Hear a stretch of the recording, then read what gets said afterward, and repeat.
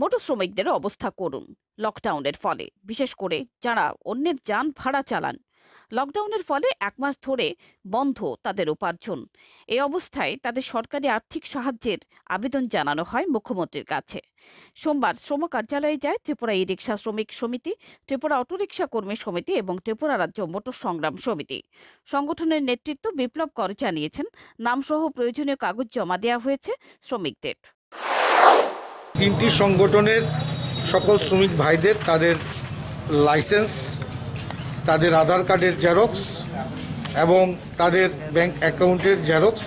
আমরা এই তিনটি কাগজ একত্র করে সব শ্রমিক ভাইদের এই কাগজগুলো একত্র করে আমরা আজকে শ্রম দপ্তরের যারা আধিকারিক আছেন, ওনাদের হাতে সেই শ্রমিক ভাইদের আমাদের তাদের এই কাগজগুলো আমরা তুলে দিচ্ছি। কারণ আপনারা জানেন, একটা বিশ্বব্যাপী করোনা ভাইরাসের মহামারী চলছে এবং তার কারণে একটা লকডাউন পরিস্থিতি দীর্ঘদিন ধরে চলছে এবং এই লকডাউনের দীর্ঘদিন এই পরিস্থিতি চলার ফলে এই রাজ্যের মোটর শ্রমিকদের অবস্থা খুব করুণ।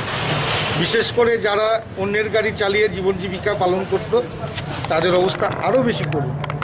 তাই আমরা রাজ্য সরকারের কাছে মাননীয় মুখ্যমন্ত্রী বিপ্লব কুমার দেব ওনার কাছে আমাদের বিনম্রভাবে দাবি দাবি থাকবে, আবেদন থাকবে।